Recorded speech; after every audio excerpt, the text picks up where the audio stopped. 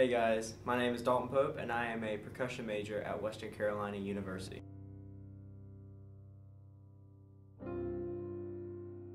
The thing that most inspired me about being a music major and being an, a musician in general was the age whenever I got my first drum set. It was 10 years old and it was Christmas and of course my dad, he went to the pawn shop and bought a $100 really off-brand set and it was only like a five or six piece and of course I woke up that morning and I went to the living room and I practiced it and I played my first groove on it without ever having any experience before. And it was a simple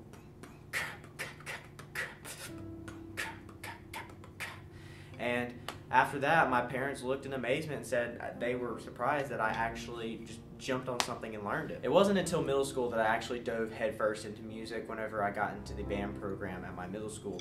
Uh, tried out for percussion. I was one of the only percussionists that actually knew the rudiments and all that good stuff. And it was really amazing to me because I knew I was a quick learner. By high school came around, marching band finally came through, and I was I was really skeptical because I didn't know what a marching band was. I just I only knew uh, concert percussion.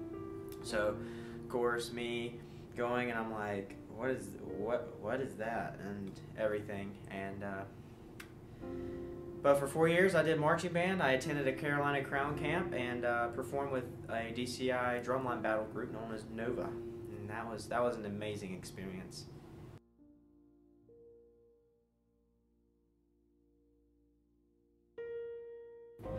The reason I chose Western Carolina University was because of their music program.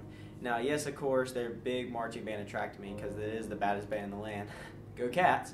But um, I wasn't too biased about marching band here, but I was really intrigued about the music program here. The staff and the teachers here are top notch. They are top level. They, you know, get together with you and they work out every kink and they make sure that you succeed. And even the students here at the tutoring centers and even just, you know, in your studio, they'll come and help you and make sure that you succeed in whatever you're doing. And that's what really attracted me towards Western Carolina University.